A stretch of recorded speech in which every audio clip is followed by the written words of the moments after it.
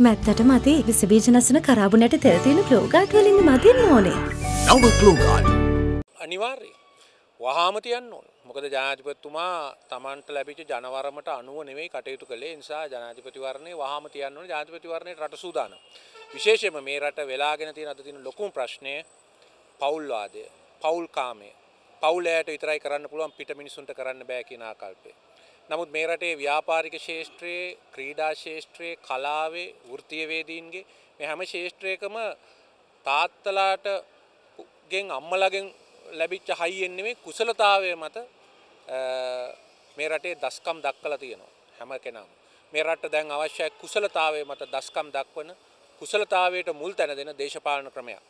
ලබන ජනාධිපතිවරණය තීරණය කරන්නේ රට පෞල්කාමයටයි ගජමිතුරුවාදයටයි යනවද නැත්තං රට කුසලතාවයට මුල් තැන දෙන තැනක් බවට පත් කරනද. ඒවගේම ආදායම් උපදෝන වියදන් කරලා යම් යම් ඉදිකිරීම කළා ඔන්න අපි සංවර්ධනය කළා කියන නෙමෙයි.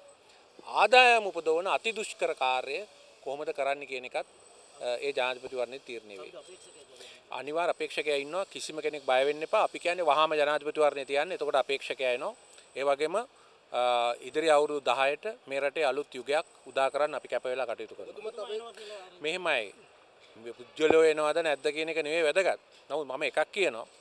දෙදස් පහේ දෙදස් දාය දෙදස් පහලවේ ජයග්‍රාහකයට අවශ්‍ය කරන තත්ත්වය හැදුව අපි දහනම එක කරන්නෙත් අපි එතුමට එන්න පුළුවන් කිසි ප්‍රශ්නයක් නෑ විදේශීය පුරවැසිකම අරගෙන ඉන්නතු විදේශය පුරවැසිකම අතෑරලා ඇවිල්ල එතුමට තරන් කරන්න පුළුවන් ඒ ගැන කිසිම ගැටලුවක් නෑ හැබැයිතින් චමල් රාජපක්ෂ මහත්තයක නො යනොයි කියලා බැසිල් රාජපක්ෂ මහත්තයක නො යනොයි කියලා මටනන් කියන්න තියෙන්නේ රාජපක්ෂලගේ ඇගේ විතරක් නෙවේ ලේදුවන්නේ රතුලේ මේ රටේ දක්ෂ පක්ෂ උගත් විශාල පිරිසම් මේ රටේ ඉන්නවා. ඒ අයට අවස්ථාව දෙන්නයි අපේ උත්සාහය.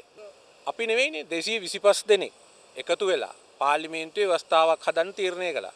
උන් පොහොම පැහැදිලිව කියනවා. කිසිම එවැනි ව්‍යවස්ථාවක් හෝ අඩුතරමේ ව්‍යවස්ථා කෙටුම්පතක්වත් නැහැ. 2007 දී මහින්ද රාජපක්ෂ මහත්තයාත් සර්වපාක්ෂික සමුළුවක් ඇඳවලා තිස්ස විතාරණ වාර්තාව කියලා විද්වත් කමිටු වාර්තාවක් ගත්තා. ඒ වගේ එතන හිටපු විද්වත් පිරිස වාර්තාවක් දීලා තියෙනවා. ඒ වාර්තාව පදනම් කරගෙන රට බියවද්දනවා. ප්‍රභාකරන්ට කාලතුවක්කු තියෙන කාලේ ප්‍රභාකරන්ට කප්පන් දීපු අය විදේශීය පුරවැසියෝ ඒ වගේම තමන්ගේ දේපොළ දරුමල්ලෝ විදේශීය රටවල හිටපු අය අද මේ බොරු දේශප්‍රේමී කතා පවත්වනවා. ජනතා බයවද්දන්න. මේ රටේ ඒකීයභාවය නැති කරන්න අපි ඉඩ දෙන්නේ නැහැ. මේ රටේ ඒකීයභාවය නැති කරන්න දරපු උත්සාහයන් පරාජය කළේ අපි. ත්‍රස්තවාදය පරාජය කරන්න කටයුතු කළේ අපි. ඒ නිසා මේ රටේ ඒකීයභාවයටත් ඒ වගේම බුද්ධ ශාසනය ඇතුළු අනිකුත් ආගම් ඇදහිීමට දැනට ව්‍යවස්ථාවේ තියෙන ප්‍රතිපාදනත් කිසි ආකාරයකින් වෙනස් කරන්නේ කිසිම ව්‍යවස්ථා කෙටුම්පතක් නැහැ. ඒ පිළිබඳව ඉතාම පැහැදිලිව අපි ප්‍රකාශ කරන්න කැමතියි. ඒ වගේම දැනට ඉදිරිපත් කළ තියෙන කෙටුම්පත් තුනේ අඩංගු කරුණු වල සියලුම දේශපාලන පක්ෂවල අදහස් ගැබ් වෙලා තියෙනවා.